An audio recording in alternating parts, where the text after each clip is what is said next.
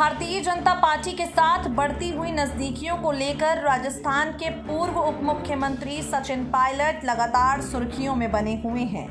बीते कल national Herald case में राहुल गांधी ईडी के सामने पेश हुए। पेशी को लेकर कांग्रेस देश भर के ईडी मुख्यालयों पर प्रदर्शन करती हुई नज़र नज़र आई। कांग्रेस के नेता सड़कों पर प्रदर्शन करते दिखे। अब इन सबके बीच में सचिन पायलट का बड़ा बयान सामने आया है।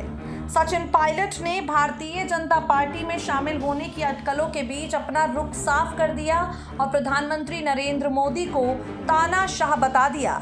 सचिन पायलट ने ट्विटर हैंडल पर लिखा, केंद्र सरकार विपक्ष की आवाज़ को दबाने के लिए संवैधानिक संस्थाओं का दुरुपयोग करके लोकतंत्र का उपहास उड़ा रही है।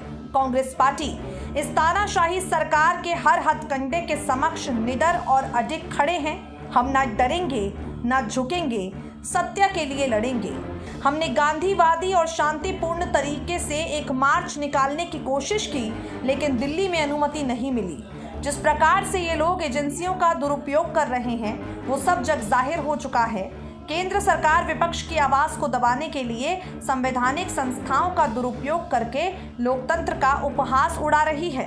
आपको बता दें, सोनिया गांधी को इसी मामले में ईडी ने 23 जून को पूछताछ के लिए समन जारी किया है। ईडी के सामने राहुल गांधी बीते कल पेश हो गए हैं।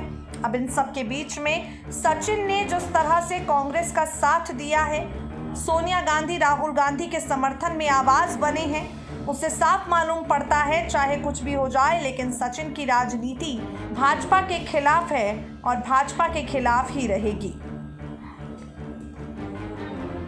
नेक्स्ट नाइन न्यूज़ रूम की रिपोर्ट।